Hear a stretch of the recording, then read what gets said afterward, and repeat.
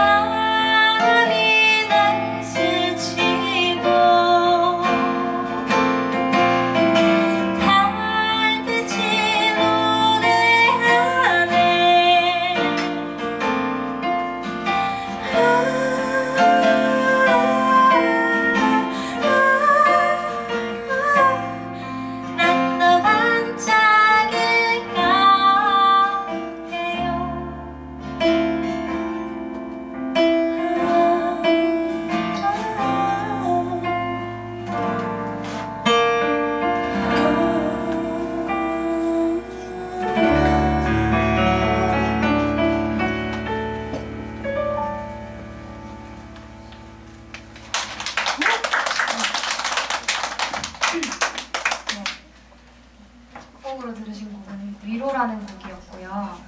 제가 어, 이 곡을 조금 설명해 드리자면 해가 이렇게 뉘엿뉘엿 지는 시간 있잖아요. 5시, 6시쯤에 제가 되게 좋아하는데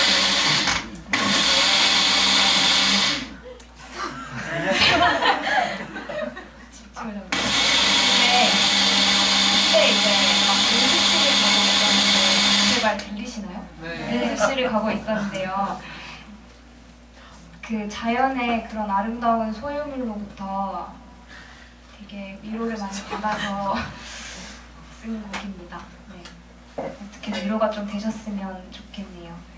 다음 곡으로 24라는 곡 들려드릴 건데요. 24는 24가 24잖아요. 24살이잖아요. 제가 2년 전에 24살이었는데